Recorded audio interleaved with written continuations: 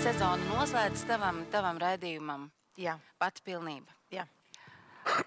Un tagad pastāst lūdzu, ar kādu lielisku pasākumu viņš vai tas, tas projekts noslēdzās, jo faktiski, nu, tu nesen biji uz Okāvāk. Brīnišķīgi bildi, bet tagad kāds cits no tavu projektu būs uz žurnāla vāka. Jā, Pastāst par to. jā. Žurnāla pastaiga vāka būs uh, meitene, kura ir uzvarējusi šo projektu un uzvarējusi tāpēc, ka viņa iekšēji sevi ir visvairāk atradusi un sapratusi, kāpēc tad viņa ir šajā projektā. Uz pastaigas vārdu. Paklā... Pastaigs, jā, Žurnāla pastaiga vāka. Nu, klausies, mums ir šis vāks. Wow!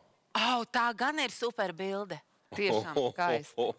Tieši tā, esi patiesa, neesi perfekta. Jā. Tas, ir, tas ir viens no saukļiem, par ko es arī iestājos savā Mordens aiz kustībā kā tādā.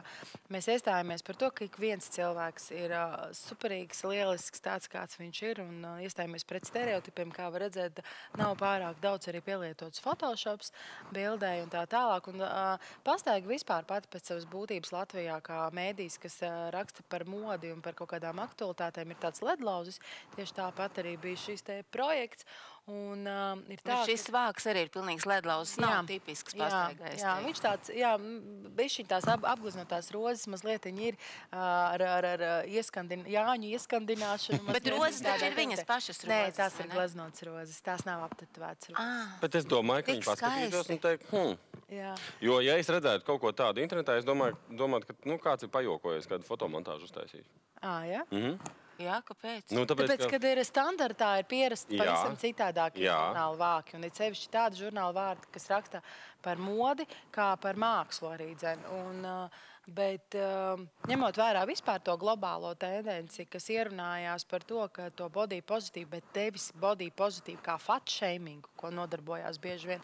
Jo Latvijā Lūdzu, ļoti daudz fat shamings. Nu, ļoti daudz Latvijā nesaprot uh, terminu un jēdzienu būtību kā tādu, ka body pozitīvi iestājās pret mākslīgi kultivētajiem standartiem un pret to, ka visiem cilvēkiem ir jābūt vienādiem, ka visi cilvēki drīkst būt pozitīvi savā, uh, būt pozitīvai, visiem cilvēkiem jābūt pozitīvai izpratnē par savu vizuālo tēlu, neatkarīgi no tā, kādas ir šīs formas. Uh -huh. Un šis body pozitīvi ir ļoti nepieciešams ne tikai šīm te meitenēm, kas ir kuplākām formām, bet arī, piemēram, Amerikā ir um, um, Amerikas pētījumi un arī vispār body pozitīva termina ā, radītāji ir atzinusi to, ka, piemēram, arī fitnesa atkarīgie cilvēki sirgst ar body pozitīvu trūkumu.